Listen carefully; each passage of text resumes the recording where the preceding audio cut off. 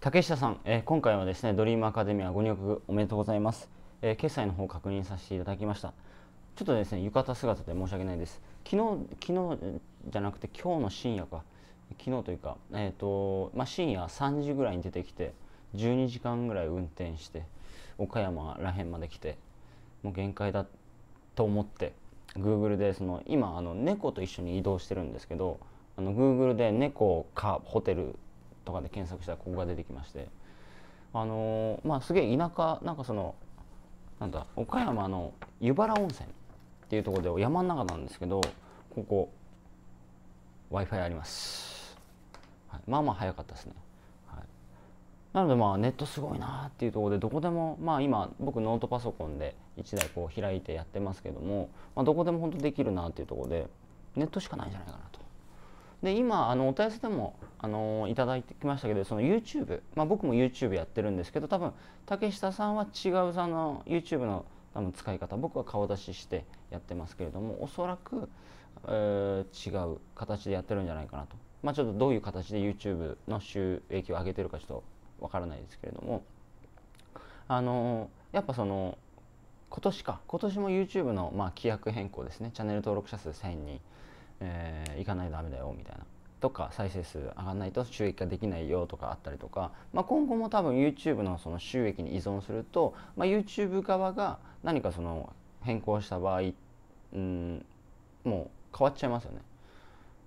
うん、だからまあ僕がドリームアカデミアで教えてるですね、まあ、顧客リストを獲得してそこに対して物を売っていく。もしくはアフリエイトしていくっていうところがまあ、僕はもうこれがまあ5年後も10年後も30年後もずっとまあつ続くことだと思ってますし、まあ、間違いないことだと思ってます。うん、でそれをドリームアカデミアで本当に詳しく教えてますんで例えばあのー、うん、お客さんのライフタイムバリュー、まあ、1年に1回1年にどれぐらいお客さんがお金を落としてくれるかっていうところで例えばそのファンの方がいて自分のファンの方がいてじゃあ1年に1万円だけ落としてくれるよと。なんか商品買ってくれてと。でそれ1,000人の濃いファンがいて、えー、1年に1万円だけ落としてくれるっていう状態を作れればもうそれだけで1人のお客さんから1万円もらうだけで1年に1万ですよ。だから月換算すると1,000円以下ですよね。でそれもらうだけで1,000万なわけですよ、うん、僕の最高最高というかね一番長いお客さんで56年ずっと僕の買っていただいてるお客さんいるんですけど商品を。うん。まあ、あとはまあ最近商品を出す、まあ、ドリームアカデミーはバックエンド的な商品になりますけどフロント商品を出すと、まあ50%、以上はリピート率で買ってくれるんでまあまあまあまあ、まあ、安定ちょっとしてきたかなっていうとこですよね、うん、だいぶ。しかもその50%もその利益率がほぼ100%じゃないですか。コンテンツビジネスっていうのが。これが何かのその利益リピート率例えば50%だったとしてもじゃあその商品を提供するのに例えばこれ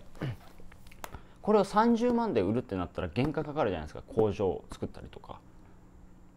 あとまあもちろん30万で作売ったとしても本当の利益は、うん、30万ではないですよね。ここに製造ラインだったりとかあるわけですから。だけどそのコンテンツ販売に関しては100%利益なんでだからそこもまあすごいところ普通のビジネスでは考えられないえー、とこなんじゃないかなと思います。まあ、ここのホテルに関してもそのお客さんに箱を用意しないといけないですよね。ここのホテル宿っていうのをまず作るでそこの例えば、まあ、まあ、布団引いていただいたんですけどじゃあ布団を引くスタッフがいないとダメですよね。とか何かお客さんに物をサービス提供する時にそのコストがかかるわけですよね。だけど、まあ、僕の僕がやってる、えー、コンテンツビジネス情報ビジネスっていうのはそれが全くかかんないんでだそこを極めると間違いなく、まあ、収益は安定するかなと思います。はいうん、まあ情報商材って言われるとちょっとうさんくさいかもしれないんですけど、まあ、ぶっちゃけ言うと今もう情報コンテンツを扱えない扱情報コンテンツですよね。その情報コンテンツをどう扱ってフリーコンテンツをどう扱って集客してどうやってその有料で売っていくのかっていうところが僕全てなんじゃないかなと思いますね。これであとはこれからその情報がたくさん出てくるじゃないですか。で今も僕すごく思うことがあるんですけど13年やっててお客さん相当9万人とかまあ相当見てきて思うことが今やっぱ肌で感じるのはやっぱお客さんのその熱量熱量というかお問い合わせですよね。やっぱ昔に比べると普通だったらそのうんまあ少子高齢化ですから人口っていうのは下がっていくわけじゃないですか。人口下がってってますよね。どちらかというと日本はその少子高齢化でまあ高齢者の方が上がっていくって感じで、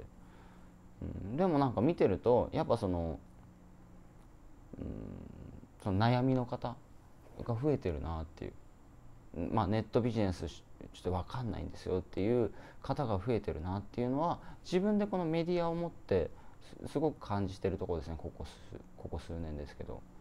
うん、だからまあ間違いなくこれからあのまあ、そのインターネットを使って何か収益を上げていくっていう情報とかに関してはもう間違いなくもうバズりはしないですけど必要とされますよね。まあ、今度ロボットが、ね、導入されてあのリストラもなる人いっぱいいるだろうし、うん。はい。まあ、ちょっとだらだらちょっと話してしまいましたけれども、まあ、これからですねドリームアカデミア25年ですかね。長いお付き合いになりますけれども本当にもう今多分武器ありますんであの武器あるんでその3万稼ぐノウハウっていうのがあるんですけどそこは別にあのステあの、えー、見なくても大丈夫です。で自分の持ってる武器を、えー、最大限に生かしてご収益化していただいたければいいんじゃないかなとそこを30万稼ぐステップから入っていただいていいんじゃないかなと思います。でまた何かですね講義見てわからないこととかあれば、まあ、今日の夜もライブやりますけれども、まあ、ライブでご質問いただくかあとはえー、専用のお問い合わせフォーム用意してますのでそちらからお問い合わせいただくか、えーまあ、メールでいただいても対応はしますし、はい、LINE でいただいても対応はしますんで、ま、どこから来ても対応はするんで、まあ、分かんないことがあればご相談ください。はい、それでは、えー、これからですね長いお付き合いになりますけど25年頑張っていきましょう。ありがとうございます。